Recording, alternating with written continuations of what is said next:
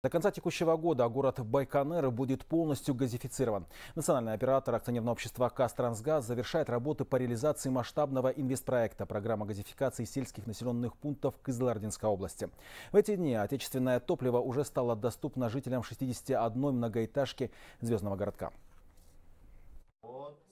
Горячие баурсаки, беляши и пирожки. В доме Вдулековых праздник, случай особый. В квартире появился свой казахстанский газ. Голубое топливо, говорит хозяйка, в разы дешевле.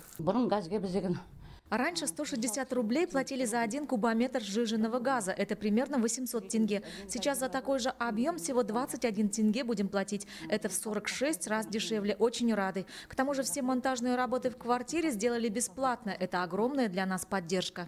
Сегодня в Байконуре к отечественному газу подключен 61 многоэтажный дом и ряд казахстанских социальных объектов.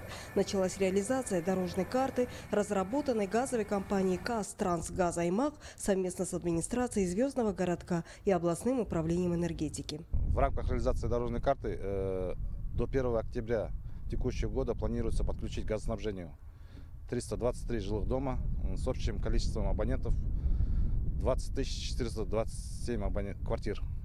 Администрации города были заменены более 10 тысяч газовых плит. 42 дома, которые ранее пользовались а, газобаллонными установками, были смонтированы внутридомовое газооборудование. К слову, работы по газификации в Байконуре стартовали пять лет назад. За эти годы построены километры газоотводов и межквартальных газопроводов. Райхан Тажибаева, Ханат Инсибаев, Кызлардинская область, Хабар 24.